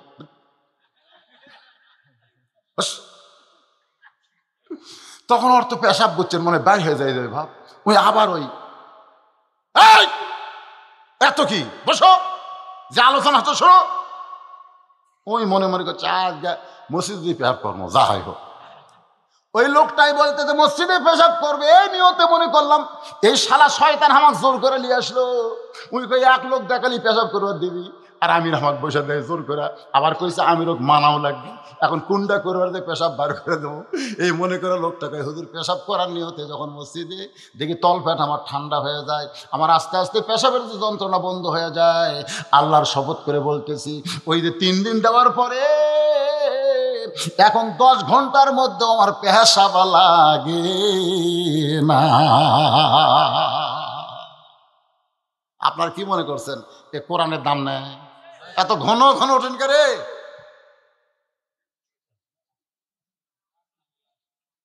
ওঠেন না বাবা, ওঠেন। একটু ধৈর্য ধরেন, এই শেষ পয়েন্টটা শোনেন, অত্যন্ত গুরুত্বপূর্ণ কথা। তো এনজিওরা যখন আমাকে বলতেছে, হুজুর, আপনি তো আমরা হলাম দাতার সংস্থা, আমরা মানুষের উপকার করি ঘর বাড়ি বানাতে গরিব মানুষের ধনী করে দেয় বহু কিছু করি, আপনার সহ্য হয় না। তা আমি কলম শোনো, একটা গল্প শোনো। এক লোক দুই বিয়ে করছে। কয় বিয়ে? দুই বিয়ে হলে দুই বউ মনে করতেছেন কি? ওরা কি বোন হয় না সতীন হয়? সতীন। এমনকি মেয়েরা বেহেস্তের হুরকেও সতীন মনে করে। মেয়েরা কোনোদিনও স্বামী কাউকে ভাগ দেবার চায় না, এটা মেয়েদের একটা ভালো গুণ সোমান আল্লাহ বলেন। যদি কোনো মেয়েকে আপনি ঠান্ডা করবার চান, খালি শুধু বলবেন, তুই যদি বেশি ক্যাচাল করিস, আমি কিন্তু বিয়ে করব খালি এ কথা কয়ে দেখেন, ওই আপনার পাও ধরবে। মেয়েরা কিন্তু একটা জিনিস পছন্দ করে, সেটা কি? সতীন, ধরে কোন সেটা কি? কিন্তু ওই দুই বিয়ে করছে, দুই বিয়ের আবার একসাথে বাচ্চা হচ্ছে। এ পনেরো দিন, বিশ দিন, কম বেশি, দুই সতীনের, দুই বাচ্চা ছেলে হয়েছে। কিন্তু গ্রামের মধ্যে একটা খবর রটে বলল সতীন তার সতীনের বাচ্চাকে সহ্য করতে, সতীন তার সতীন নিজের বাচ্চাকে পছন্দ করে না, কিন্তু সতীনের বাচ্চা ভালোবাসে। এক সতীন তার নিজের বাচ্চাকে ভালোবাসে না, কিন্তু সতীনের বাচ্চাকে ভালোবাসে। তো গ্রামের লোকজনকে এটা কখনোই হতে পারে না। সতীনে সতীনে শত্রু, আর এটা কেমনে হয়? তো এক মেয়ে মানুষকে তাহলে তদন্ত করা দরকার। তো এক মহিলা তদন্ত করে যায়, দেখে মাটিতে একটা পড়ে থাকে প্যাঁ প্যাঁ করে কান দিচ্ছে। আর একটা কলোনিয়া বাবু, তো তো বাবু করতেছে। তো এখন বলতেছে, কান দেখে ওকে, আমার কলজার টুকরা কান দিচ্ছে। কলত খেয়ে কয়, আমার শত্রু। তো তোর কলজার টুকরা কানতিছে আর সতীনের সন্তান শত্রু কলত নিয়ে তুই বাবু তো তো করতিস কারণ কি? এটা গোটা পাড়ার উঠে গেছে। ভিতরে ঢুকে দেখতেছি একই অবস্থা। এর মধ্যে মহা কারণ আছে। পরে সেই কারণ কি? ঘরের মধ্যে নাই, ওটা ব্যারাক হয়ে যাবে যায় ঘরের মধ্যে যা বলতেছে, শোন, আমার স্বামী হলো গরিব মানুষ। যে কোনো সময় স্বামী মরে যাবি, এই সোল বলে কামায় আমাকে খাওয়া দেখবে তা আমার ডাক মাটির থুজি ওই কান দিচ্ছে মানে কি দেখতেছি? ওই যত কান দিচ্ছে, হাত পাও মারতেছে আর ব্যায়াম করতেছে। কান দিচ্ছে, হাত পাও মারতেছে আর ব্যায়াম করতেছে। ওই ব্যায়াম করতেছে আর মাটির থর কারণ হলো মাটির আর্থ কানেকশন ওর দেহের মধ্যে ঢুকতেছে। রোদে পুড়তেছে, মাটি আসন পাচ্ছে। ওই বড় হয়ে যদি দশ ঘন্টাও রোদে পুড়ে পানি ভিজা কাম করে, ওর সর্দি গরমি হবি না, ওর শরীরে দুর্বল হবি না। অক্সাইজ করতেছে আমি। আর এটা কোলতলে বাবু তো তো করা মানে এখন লুলা করে দেবো। এক পঙ্গু করে দেবো, ইদান ভিক্ষা করে খা। হাই রে হাই ষড়যন্ত্র রে। আমি কইলাম, এনজিওরা হচ্ছে একই মাল। একই অবস্থা, এরা মুসলমানের ইমান আমল পঙ্গু করার জন্য এরা আমাদেরকে সাহায্য করতেছে। আসলে সাহায্য না, সাহায্যের নামে আমাদের সঙ্গে শত্রুতা করতেছে। জনকর কথা ঠিক কিনা? পঙ্গু করতেছে না? ইমান একটা এদের গ্রামীণ ব্যাংক, মেয়ে মানুষ, মেয়ে মানুষকে দেয়। কিস্তি নিবা মেয়ে মানুষ কে, মেয়ে মানুষকে? আর মেয়ে মানুষ কিস্তি নিয়ে শতকরা কত টাকা সুদ দেয়? আপনি কি হিসাব করে দেখছেন? যেদিন আপনি টাকা নিলেন, পরের সপ্তাহ থেকে আপনার কাছ থেকে সুদ নেওয়া শুরু করল। আপনি ব্যাংকের টাকা নিলে এক বছর পরে সুদ নেবে। আর এরা পরের দিন থেকে কত পার্সেন্ট সুদ নিচ্ছে আপনি কি জানেন? সুদের একটা টাকা খাওয়া, সুদের একটা টাকা দেওয়া আর একটা টাকা খাওয়া কত বড় পাপ? এটা মুসলমানের জানার দরকার আছে না নাই? দরকার আছে না নাই? এই জন্য ভাইজান, একটু শত অভাবের মধ্যেও যদি পড়েন আল্লাহ রাসুল বলেছেন, তোমাদের কঠিন যদি অভাব হয়, তাহলে আমি তোমাদের একটা দোয়া শিক্ষা দেব। প্রত্যেক পাঁচ অক্ট আমাদের সালাম ফেরানোর পরে এই দোয়াটা যদি তোমরা পাঁচবার, সাতবার পড়তে পারো, আমি রাসুল বলছি, চল্লিশ দিনের মধ্যে অভাবের দরজা তোমাদের আল্লাহ বন্ধ করে দিবে। বরকতের দরজা আল্লাহ তোমাদের জন্য খুলে দিবে। সমস্ত সাহাবের বললেন রাসুল্লাহ তাহলে আমাদের দোয়াটা বলে দিলে হয়। আল্লাহ রাসুল বলছেন, আমি ওয়াদা দিলাম চল্লিশ দিন। ধরে কয় দিন? চল্লিশ দিন পাঁচ অক্ত নামাজের যে ইমাম সালাম ফিরাবে, যদি ইমাম সালাম ফিরে দেরি না করে, মোনাজাত যদি করে, তাহলে মোনাজাত আগে করে পরে তোমরা দোয়া পড়বে পাঁচবার, সাতবার, ছোট্ট একটা দোয়া। সাহাবেরা বলে, হুজুর, দোয়া শিক্ষা দেন, হুজুর। আমরা এখন থেকে আর রেজেকের পেরিসিনে থাকবি না, অন্তত। আল্লাহ রসুল বলতেছে লেগে লাও চল্লিশ দিনের মধ্যেই আল্লাহ তোমাদের অভাবের দরজা চিরতরে বন্ধ করে দিয়ে রহমত আর বরকতের দরজা খুলে দিবে। সোমান আল্লাহ এখন দোয়াটা কারা কারা শুনবেন? হাত তোলেন হাত তোলেন হাত তোলেন। হাত নামা হাত নামা চল্লিশ দিন পর তো অভাব থাকবি না। সে চল্লিশ দিন পর বিশ্বাস করতেছেন তো, এটা কিন্তু নবীর হাদিস বোখারি শরীফা আছে। এখন আপনাদের কাছে যারা হাত তুললেন এই মসজিদের জন্য একটু টাইস লাগবে বাদাম। না, আপনারাই মনে করেন যে আলী একবার ভাই আধ ঘণ্টা ওয়াজ করে আদায় শুরু করছে। আমি কিন্তু দুই ঘণ্টা ওয়াজ করছি। কয় ঘণ্টা? এ কথা কর না কেন? কয় ঘণ্টা? দুই ঘণ্টা ওয়াজ করে দশটা মিনিট যদি আমি আপনাদের কাছে মসজিদের জন্য চাই, খুব আপত্তি? কি কি হয়নি? টাইস আছে? দুই সার কেবল হচ্ছে, কয় সার বাবা? সাইডের কিছু অংশ আছে, আট দশের ভেতরে লাগবে। মানে আট দশ কাতার, তার মধ্যে দুই কাতার হয়ে গেছে। কত কত টাইস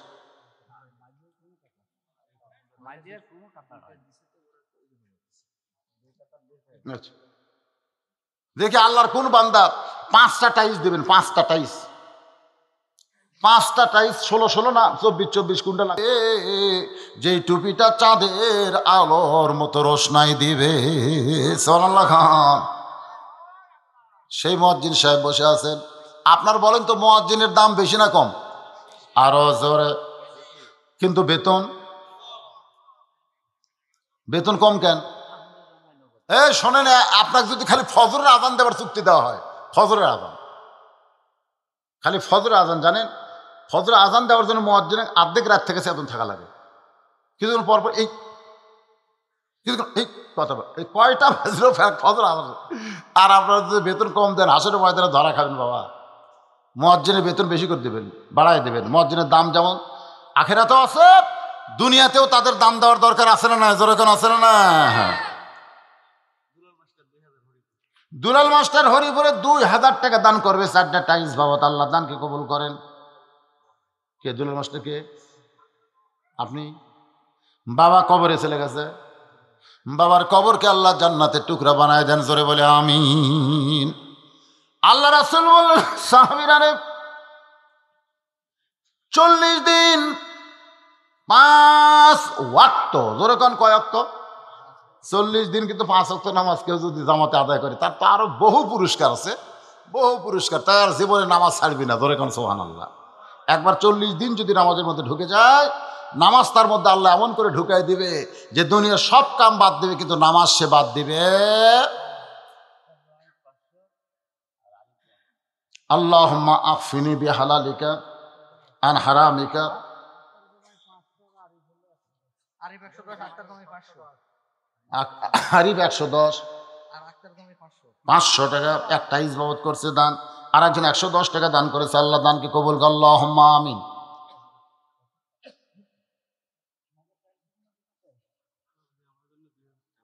হ্যাঁ। মিজানুর রহমান সাহেব, বাপ মার জন্য। মারা গেছে দুইজনে। দুইজনে মারা গেছে, বাপ মার জন্য দুই হাজার টাকা দান করল। আল্লাহ দানকে কবুল করেন, বাপ মার। আল্লাহ তালা বাপ মার কবরকে জান্নাতের টুকরা বানায় দেন। সকলে বলে আল্লাহ আমিন।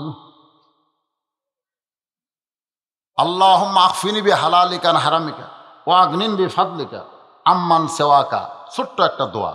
আল্লাহ মাহফিনি বি হালালিকান হারামিকা ও আগ্নিন বি ফাদলিকা আম্মান সেওয়াক। এই এই দোয়াটা করবেন পাঁচবার, সাতবার, পাঁচ অক্ত নামাজের পরে। আল্লাহ তালা অহবের দরজা বন্ধ করে দিবে। রহমত, বরকতের দরজা খুলে দেবে ইনশা আল্লাহ। আব্দুর রাজা কি দিল? একটা টাইস দান করছে, আল্লাহ কবুল করেন। যারা এখানে মাইকে দিলেন না প্রকাশ্যে দিলেন না, তারা গোপনে দিবেন। মসজিদে যখন টাইস দেওয়া শুরু হবে ইনশাল্লাহ হ্যাঁ অনেকে দিয়ে দেবে ইনশাল্লাহ হিরাদ হিরাদুল। দুইটা টাইস দান করেছে, আল্লাহ দান কবুল কর আল্লাহ আমিন। কবুল করো কবুল করো।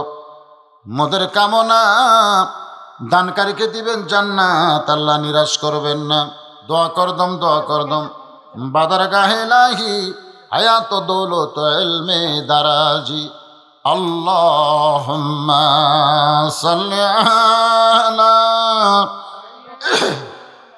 মৌলানা মোহাম্মদ ওয়ালা আলে সৈয়দিনা শফিয়ানা।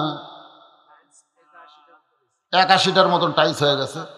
আর এছাড়া তো দুই কাতার। একটা টাইস বিরাশি হয়ে গেল, বিরাশি আসান বিরাশি টাইসটা হয়ে গেল, তিরাশি নম্বর কেউ আছেন? তিরাশি নম্বর, একশোটা টাইস হলে মোটামুটি ইনশাল্লাহ। কি দিবেন? সিমেন্ট দিবেন? তিন বস্তা সিমেন্ট দিবে। টাইসের সময় সিমেন্ট কে পারে তিনটা টাইস দাও। না সেগুলো আগে আদায় হয়ে গেছে অনেক সিমেন্ট আদায় হয়েছে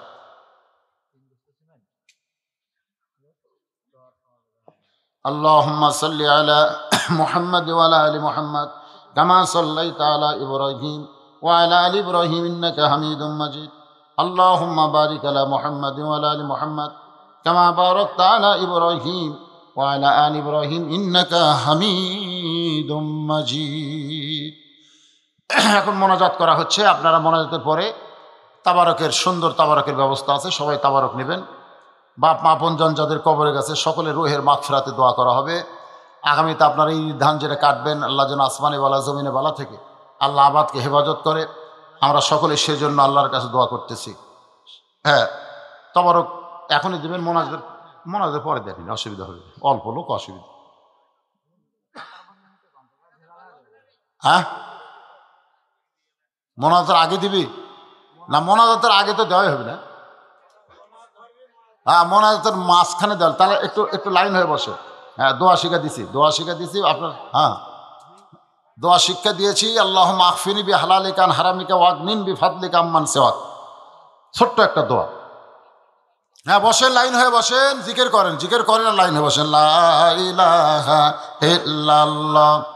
লা ইলাহা ইল্লাল্লাহ, লা ইলাহা ইল্লাল্লাহ, লা ইলাহা লা ইলাহা। এই যারা স্বেচ্ছাসেবক, যারা পোলা দেবেন, তবারক দিবেন, তারা রেডি আছেন? এ নিয়ে আসেন। তাবারক নিয়ে আসেন। ওই যে উপরে যারা বসে আছেন, আপনারও একটু লাইন হন, আপনারও লাইন হয়ে বসেন। সবাই সুন্দর, সৌন্দর্য রক্ষা করে, জি, লাইন হয়ে বসেন ইনশাআল্লাহ। এই যে তাবারক এসে গেছে, যখন মোনাজাত হবে, তাবারক দিবেন, শোনেন যারা তাবারক দিচ্ছেন, তারা হইচই না করে, তারা হাত না তুললেও আমিন আমিন করবেন। আর যাদের সবাইকে তাবারক দেবেন ইনশাল্লাহ আর একজন না, চার পাঁচ দল এটা তাবারক দেওয়া শুরু করেন। আল্লাহ সাল্লি আলা সাইদিনা শফিনা নবীজিনা মৌলানা মোহাম্মদ আলা আলিহি ওয়া সাহাবিহি ওয়া বারাক সাল্লিম اللهم آمين اللهم أنت السلام ومنك السلام تباركت يا ذا الجلال والإكرام ও মাবুদ সেই মাগরিবের নামাজের পর থেকে রাত দেড়টা পার হয়ে গেল। দীর্ঘ সময় পর্যন্ত তোমার পাগল বান্দা বান্দিরা আরামের বাড়ি, আরামের ঘুমকে বাদ দিয়া কোরআন, হাদিসের মহব্বত কলিজার মধ্যে নিয়ে এই জান্নাতের বাগানে বসে বসে কোরআন হাদিসের আলোচনা শোনার শেষে আমি গুণাগারের সঙ্গে রহমতের দরজায় ফকির হয়ে দোকানা হাত তুলেছে। আল্লাহ মেহরবানি করে আজকের মাহফিল আমাদের সকলের হেদাতের জন্যে, নাজাতের জন্য, জান্নাতের জন্য কবুল করো। এই মাহফিলের শুরু থেকে শেষ পর্যন্ত যত আলোচনা হয়েছে এর মধ্যে যদি ত্রুটি হয়, ভুল হয়, মাফ করে দিও। এর যা হাদিয়া মঞ্জুর করো। সোনার মদিনায় নবী ফাকেরাও যা মুবারকে কবুল করে নিও। তাম আম্বিয়াই কেরাম, আসহাবে কেরাম, তাবিনী কেরাম, তাবা তাবিনী কেরাম। উম্মাহাতুল মমিনী শহীদ, শহীদা। জান্নাতুল বাকি, জান্নাতুল মৌলা সহ পৃথিবীর যত গোরস্থান, যত মুর্দাসে আছে আল্লাহ সকলার ফরে হাদিয়া কবল কর। আল্লাহ তালা এই বড় হরিপুর জয় মসজিদের মাহফিলকে আল্লাহ তুমি কবুল করো। গত বছর আমার আসার কথা হয়েছিল, কিন্তু করোনার কারণে মাহফিল হয় নাই। দীর্ঘ দুইটা বছর পর আজকের জান্নাতের বাগানে বসে গ্রামের জন্য প্রাণ খুলে দোয়া করে আল্লাহ। একশো পঁয়ষট্টি ঘর বসতি